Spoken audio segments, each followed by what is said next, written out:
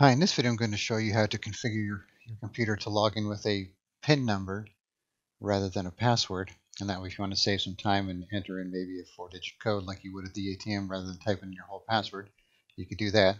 So as you can see on this computer, when I go to log in, it wants my password, which I will put in now, and log in.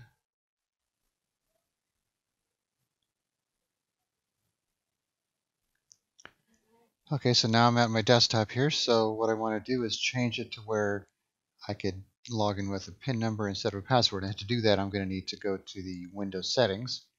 And today, click on Start.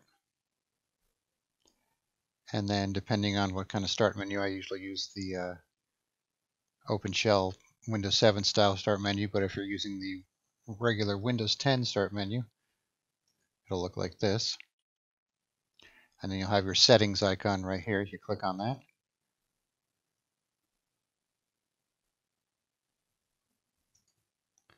And then from here, you want to go to Accounts.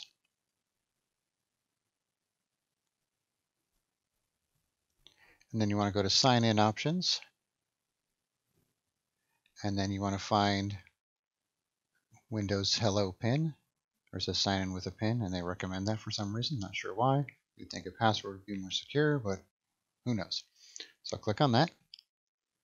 And then I want to add it. And then first it wants your regular password so it knows that it's really you trying to add a PIN and not somebody who just happened to hop on your computer. So I'll type in my usual login password again. And now it's going to ask me to enter my PIN and confirm it. So if you want to use letters and symbols as you know with the numbers or you could just use numbers and leave this unchecked so I'm just going to do numbers just for the sake of simplicity here and if, if you want to view it you could click on that eyeball icon there and then you click on OK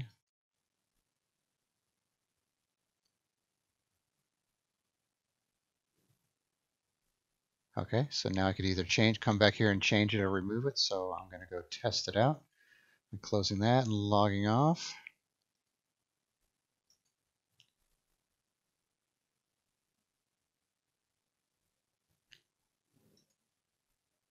Okay, so now you can see it says pin there and I could type that in. Or if I click on sign in options, then I could use my password or pin. So you could still use both. So I'm going to leave it on pin, type in the pin I just made up here.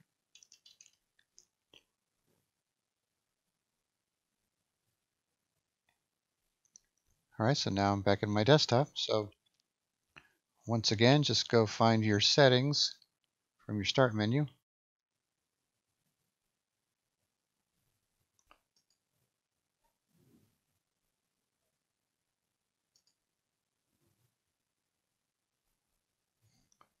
Go to accounts, sign in options, and then Windows Hello Pin. And then once you set that up, you're good to go. And if you want to remove it, you come here and that's where you would go to remove it. All right, that's about it. Pretty simple. All right, thanks for watching.